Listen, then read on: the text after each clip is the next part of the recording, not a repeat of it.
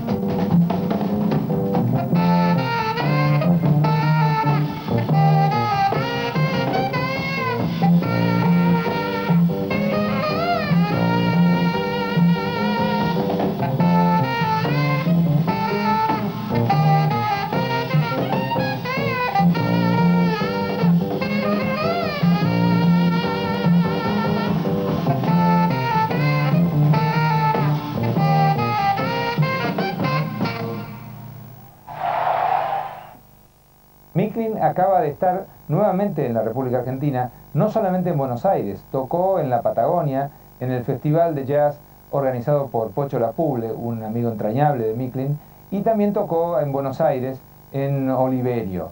Para recordar este intercambio con los músicos argentinos, vamos a presentar a Micklin en primer lugar en una eh, actuación en la ciudad de Graz, con el trío Argentina, integrado en aquella ocasión por Jorge Navarro en piano, Alfredo Remus en contrabajo y Pocho Lapuble en batería. El tema a interpretar es Here We Go Again, un tema de Babi López Furst.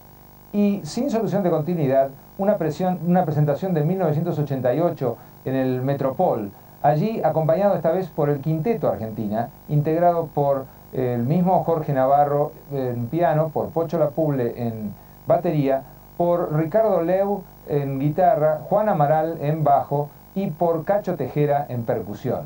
Aquí el tema es el Junior y también la Mava Secreta.